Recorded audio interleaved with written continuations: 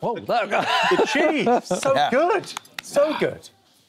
that was a bit of a messy item, though, wasn't it? Was it a messy item? It's, don't it's know. Sunday brunch. I don't know if you've ever watched the show back, but that seems, that seems about standard for you guys. That seems that's the level we're working at. That was fun. Um, we Delicious. just we just saw a clip of you there, uh, your new Netflix show, the best. Uh, what's it called? The the best. The best of Come on, you can do this. You can do this. It's just reading. Use your words. The Follow my best of ultimate gold, greatest hits. What does that mean? Well, the I just best did of all the gold, best stuff. I'd ever done. Too many words in one special. So everything funny I ever thought of in an hour. I was lucky to get an hour out of it. it's a really fun show to do. I kind of went back and did the tour and kind of took it out there and just sort of played with the audience a lot and just did kind of my best ever jokes. Did it feel weird though doing that? I did a bit. I mean, I don't think you could do it if you were a storyteller. Comics that have kind of longer form stories that maybe you go and see them and they've got five great stories. And some of my favourite comics are comics like that. And they can't really do it because once you know the end of that story, you're done. Yeah. But with my comedy, it's all fastballs. I'm doing three or four gags a minute, so no one really remembers the jokes. No one really remembers what you say. They remember how you make them feel. And so they remember that they laughed and they want to come and see it again. And maybe one or two jokes, they might go, oh, yeah, I remember that one. But mostly they don't remember. The, the cliche question for you is. Uh, Well, must- that's the right place for it. It Sunday must-. Let's have a cliche question, everyone. Let's do this. right. Wrap the interview. Oh, Uh, come on. uh, is how do- how do you remember? There's such quick fire gags. well, you've only ever got to remember the next one. You don't have to remember 300 jokes. You just have to remember what comes after the last one. It's, it's and honestly, it's my only job. It's all I've got to think about. No, it's not. You're I on. mean, there are you surgeons. Never you see on surgeons. TV. You see surgeons and or you know doctors or whatever. And you- Yeah, you, all right. never go. How do you remember all the bones? Right. They just go. "Oh, it's your only job. Come on. They obviously come in an order, a playlist for you in your mind, but then when you're taking best bits from everywhere, you have to relearn the whole. Yeah, and then and hopefully with the show as well, like the 80% of the show is pre-written stuff that you know I'm going to say that joke, Yeah. feed line, punchline, laugh, Yeah. hopefully. But then 20% of it is just messing around with the audience on the night. That's always the most fun bit.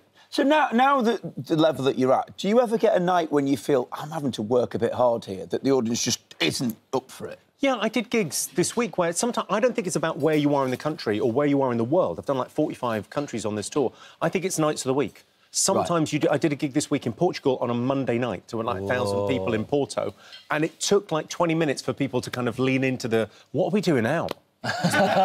what are we doing out on a Monday? We booked it because it was the 19th of something. We didn't know it was a Monday night, and then it's kind of that feels like sometimes you have to work a bit harder.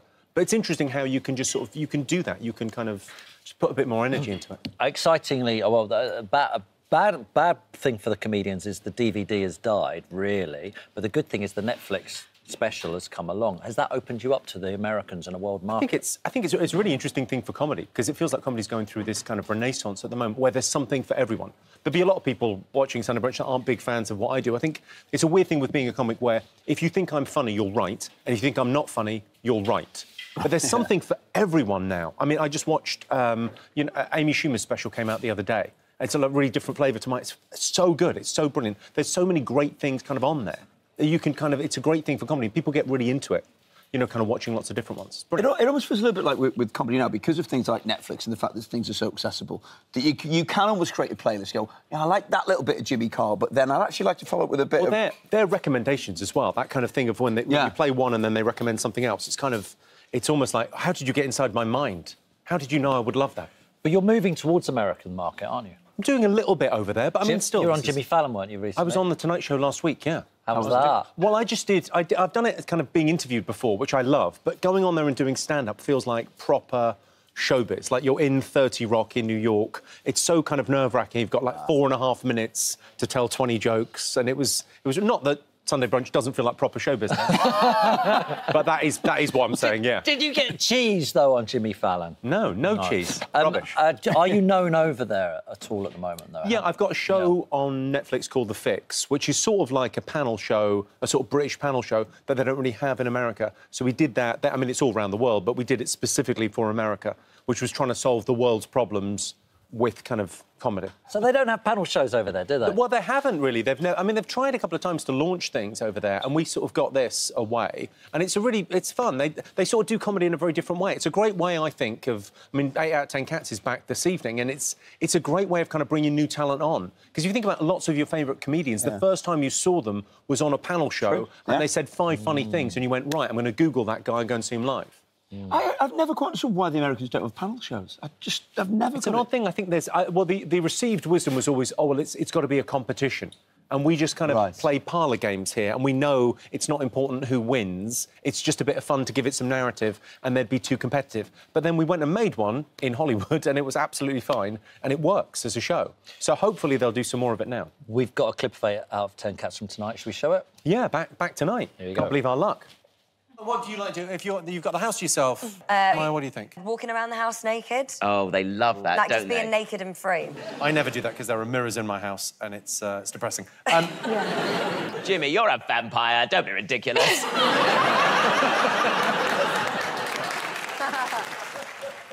You're right, innit? First time I saw Tom Allen was really on your show. Yeah.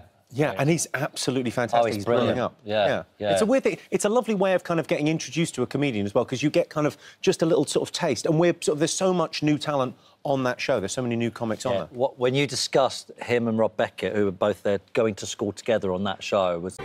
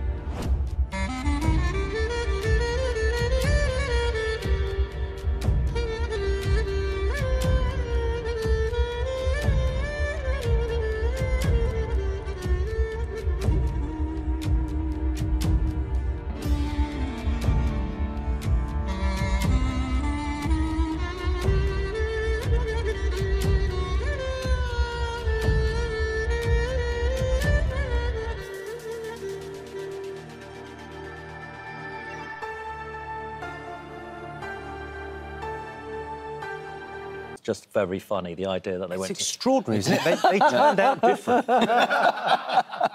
like not just different, like poles absolutely, apart. Such funny absolutely boys. poles apart. Um, okay.